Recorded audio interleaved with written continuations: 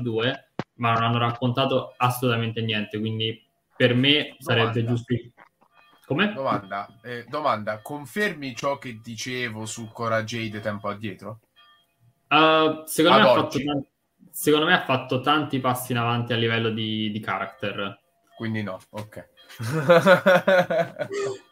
Ok. Ma guarda, per me da quando si è tuffata di testa dal, dal Wargames eh, avevo capito che cioè, eh, ha l'immagine per essere una star WWE, ma non ha tutte queste doti atletiche. E io ho visto dei- degli ulteriori passi in avanti a livello di immagine con il personaggio da cattiva, però rimane molto acerba. Non, non è... Ecco, nella divisione femminile di NXT, do- di NXT nuovo manca una star. Perché abbiamo le Toxic Attraction che hanno catalizzato tutto durante l'ultimo anno, Sì. però effettivamente non c'è quella persona che tu guardi e dici ok, è il futuro della divisione femminile, non di NXT ma della WWE. Non c'è proprio. E, mh, quindi spero che vinca Roxanne e che si passi ad altro perché eh, sono andati anche un po' troppo lunghi. Eh, secondo me vincerà Mandy Rose perché ehm, Mandy ha avuto un regno lunghissimo. Eh, almeno a noi ci sembra molto lungo. La realtà è che non è arrivata ancora ad un anno da campionessa. E lo scorso anno vinse il titolo proprio dell'Halloween Evoc, ma lo scorso anno Halloween Evoc era un pochino più avanti nel calendario degli eventi. Quindi comunque se perdesse contro Alba Fire non arriverebbe ad un, ad un anno e sono le classiche statistiche alle quali la WWE in qualche modo tiene. Ehm, quindi secondo me Alba Fire è stata scelta appositamente per fare un match solido dal punto di vista lottato, visto che Halloween Evox sarà un, un premium live event a tutti gli effetti, però al tempo stesso non è il, il capitolo conclusivo del regno di Mandy Rose. E mh, poi abbiamo, prima del main event, mi sa che ho saltato Il un match, ah, match. l'ambulance match. L'ambulance Ah, match credo che mh, i Creed Brothers siano destinati a rimanere ancora NXT per un po' e non, non riesco a vedere Brutus e Julius separati e soprattutto non riesco a vedere se proprio uno dei due dovesse andarsene da NXT oggi questo sarebbe Julius Creed ovviamente e non Brutus. Quindi ovviamente sarà una vittoria una sua vittoria contro Damon Camp che però mi ha stupito nell'ultimo mese perché era un personaggio totalmente anonimo che nel ruolo da Hill invece si sta trovando veramente a suo agio e il main event invece il- per il pronostico vi rimando a Next Big Thing. Primo perché eh, non mi posso sparare tutte le cartucce oggi che siamo a inizio settimana. Secondo perché in realtà è ancora molto teso e sono curioso di vedere cosa succederà nel Go Home Show che ci potrà dare qualche indicazione in più. Perché adesso potenzialmente secondo me tutti e tre i contendenti hanno buone chance di, di riuscire a portarsi il titolo a casa. Cioè, sempre Cristania che ci dice: Se Mandy avesse dovuto vincere, ci mandavi un'altra donna e non Alba. Prof, secondo te invece? Uh, non lo so, secondo me è il momento, siamo arrivati al momento giusto per cambiare il titolo. Secondo me. È una paura che ho anche io, onestamente, per quanto non ritengo Alba Fire pronta anche per il tipo di personaggio che ha, sinceramente. Invece, riguardo un altro match della card, Lampo dice: Io penso invece che Apollo faccia una bella jobbata per Waller, o almeno me lo auguro. Difficile, anche perché tempo addietro non so, Leo, se rimembri, e citai Waller come uno dei possibili nomi che eh, potrebbe in un certo qual modo prendere eh, la leadership dello spogliatoio di NXT, no? Cioè lo vedo come un elemento utile per starsene lì anni e anni e aiutare magari le nuove leve, dato che credo, da quello che vedo, non lo reputo almeno, un personaggio non propriamente futuribile o perlomeno non effettivamente un main eventer anche lì ad NXT. Non No, prof, com'è. Vai, vai, Leo, vai. No, cito solamente il- l'ultimo episodio del Waller Effect.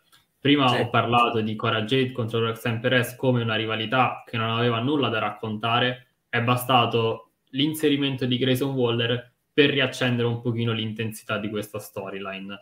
E, e credo che questo sia una caratteristica fondamentale del personaggio di Grayson Waller, perché vuol dire che puoi poggiarti su di lui anche per riuscire a vendere delle star che Certo. stanno formando il proprio personaggio. È un The Miz, è un The Miz di Mhm. NXT. Sì, praticamente sì. Eh, non so, Messaia, vuoi i miei pronostici o li fai No, voglio, prima voglio- Ernesto? voglio i tuoi, voglio i tuoi pronostici per Ok. poi passare a Ernesto perché poi a te devo chiedere un'altra cosa riguardante Perfetto. SmackDown. Perfetto.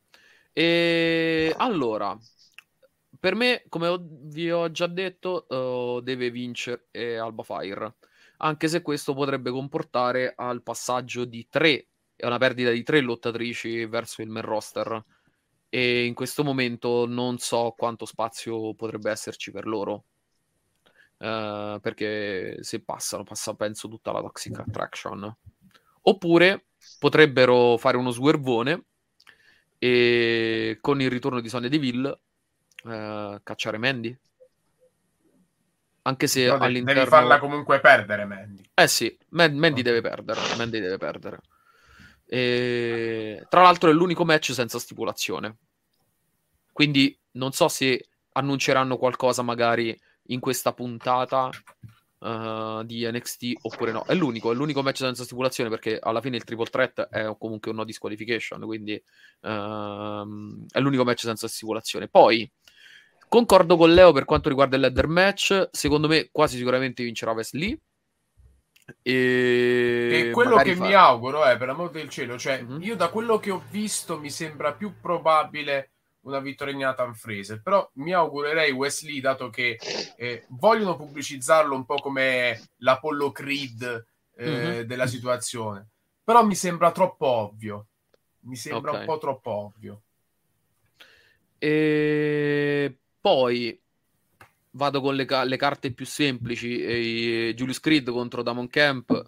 Credo sia abbastanza sicuro che Creed eh, vinca. Anche se do ragione a Leo, perché Camp, ricordiamo, era un tizio che è stato preso e messo dentro la Diamond Mine. Non c'era nessun motivo. Se non sbaglio, lui è stato preso per sostituire Boa, il, il tizio cinese, come si chiamava? No, Eh, eh, no, ah, il, sì, eh, quello che è andato in All Elite, aspetta, eh, quello che faceva da manager a Musi in Ring of Honor, mi sa. Su- Suzuki qua gli dice Hideki Suzuki Ah, Ah, sì, Acimen lo chiamavano. Hachiman. Ah.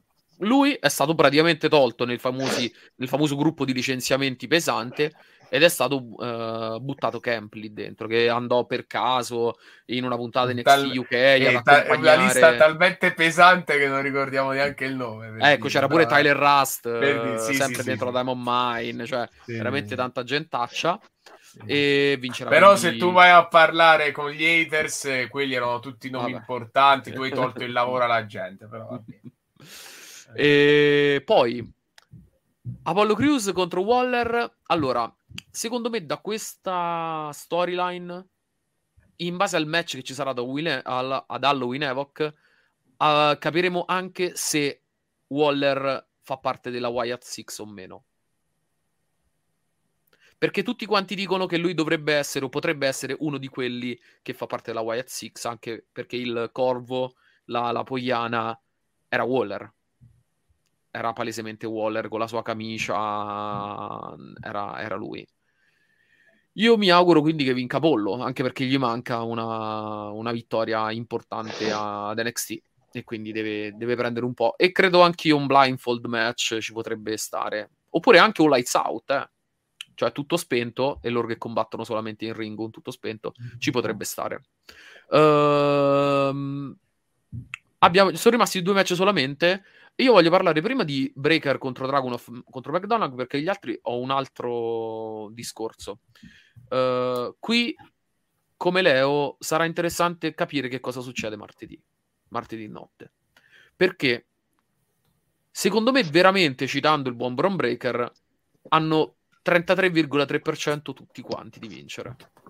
Cioè, è reale. Breaker può vincere, può continuare il suo regno, come può vincere Dragunov, che è quello realmente che non ha mai perso la cintura, oppure può vincere McDonagh, che è quello che, era, che è diventato il first contender battendo Bait. Hanno veramente tutti la stessa percentuale di vincere. Io, di mio, spero che vinca La Dragunov. Steiner Matt, non, non ti chiamo. Io spe- spero che vinca Dragunov, però non mi dispiacerebbe anche se vincesse McDonagh. Breaker io lo vedrei un attimino ridimensionato perché se fai battere anche loro dopo che gli hai fatto battere anche Bait praticamente ha battuto tutti, lo puoi mandare contro Lesnar nel main roster e, e via. Quindi mi auguro che, che vinca uh, che vinca McDonagh. Anche per ridare un pochino di ricircolo con i face, perché tu in questo momento hai avuto Breaker eh, face e quindi hai mandato solo il contro. Mandando McDonagh, che comunque è un, è un heal, hai un giretto di face che ti puoi giocare lo stesso Grimes se non sale, hai um, oddio Carmelo che alla fine non è che era proprio propriamente il ultimamente, quindi ne hai di gente da potergli mandare. Eh, in realtà, e... scusami se ti interrompo, ma vorrei potenziare Vai. questo 33,3% di breaker mm-hmm. ricordando ancora Carmelo Ace perché è vero, c'è la sensazione che se Breaker vincesse anche ad Halloween Evoc non gli sarebbe rimasto più nessuno da sconfiggere, o comunque non ci sarebbe più quell'hill di punta Mm-mm. attorno al quale puoi far girare NXT per un po', e invece c'è Carmelo Ace, che proprio in questo evento finirà la sua storia con il titolo nordamericano. Quindi non mi sento di escludere neanche Brown Breaker. Ok, ok. E... e poi l'ultimo match, che secondo me è quello costruito meglio cioè Car- uh, Roxanne Perez contro Cora Jade. Ovviamente, citando il Messiah, dato che lui è il super esperto di Impact, hanno copiato palesemente quanto è successo ultimamente ad Impact, perché il Pick Your Poison è successo praticamente due, due settimane fa, prendendo, facendo lo stesso discorso, andando a prendere due persone al di fuori di Impact. In, nel caso della, della WWE, due persone al di fuori della, Ehm, de- del, del, roster NXT. di NXT. Messaggio, io starei un po' attento al, al promo di, di Steiner. Eh? Non so se Perché? c'è qualche paro- parolina bannabile o altro. Ah, io non me lo ricordo. N- non rimembro parole, però aspetta, che forse trovo. Allora, aspetta. beat me, and then you add Kurt Angle to the mix. Eccolo. Your chances of winning drastically go down. See the three way at sacrifice, you got a 33 and a third chance of winning. But I I got a 66 and two thirds chance of winning because Kurt Angle knows he can't beat me and he's not even going to try. So, Samoa Joe, you take your 33 and a third chance minus my 25% chance, and you got an eight and a third chance of winning at sacrifice. But then you take my 75% chance of winning. If we used to go one on one, and then add 66 and two thirds percent, I got 141 and two thirds chance of winning at sacrifice. See, Joe, the, the numbers, numbers, don't, don't lie. lie, and they spell disaster for you at sacrifice. Fantastico, fantastico, fantastico. E dicevo, è un qualcosa che è successo poco fa, però è stato costruito bene, perché tornando al discorso iniziale che abbiamo fatto, NXT ha, una, ha un particolare raccordo con il main roster. Hanno detto palesemente, andate nel main roster, andate a prendere una persona da Raw e una persona da SmackDown e portatela da noi per lottare. È una cosa geniale. Perché tu hai permesso di far conoscere due persone, una settimana scorsa Roxanne e una questa notte eh, che è Cora Jade, al pubblico. E a quanto pare una come Roxanne Perez è stata apprezzata tantissimo dai, da, da quelli del backstage in uh, lì a SmackDown. Perché? Perché è una che ci sa fare. E lei, e io lo dico apertamente, non, non mi interessa di altre cose, puoi fare quello che, che tu volevi o provavi a fare con Sasha Banks, perché il fisico è lo stesso. Magari ci manca qualche centimetro, però è molto più brava secondo me Roxanne. Eh, il, forte, il punto so, forte di Sasha Banks è, Sa- è Sasha, Sasha, non era male, eh. Cioè, Sasha pure sul ring era, era però... capace di vendere la storyline uh, sul ring. Però, ragazzi, Roxanne ha 20 anni, eh? Roxanne ha 20 anni. Sì, sì, sì, eh. ha tutto il tempo di crescere. Anche Page aveva 20 anni, però poi si è, si è lasciato ah, andare in un certo qual modo, perché comunque... Eh... Però Sasha ha un'altra presenza, secondo me. Cioè, Sasha può fare un film, può essere un'attrice Roxanne sì, Perez sì, sì, potrà Roxanne essere Perez brava è, è AJ quella presenza AJ lì non ce l'ha AJ Lee del, di, di- di quel periodo lì che c'era. Ecco, il, programma- il pro- Punk, il problema eh, principale, sapete qual è forse? Che Sasha ha commesso lo stesso errore di Page, ma ha avuto la fur- cioè, nel- dal punto di vista di tirarsela, intendo, eh, mhm. ma ha avuto la furbizia però di vincere prima. Cioè, nel senso, Sasha ha avuto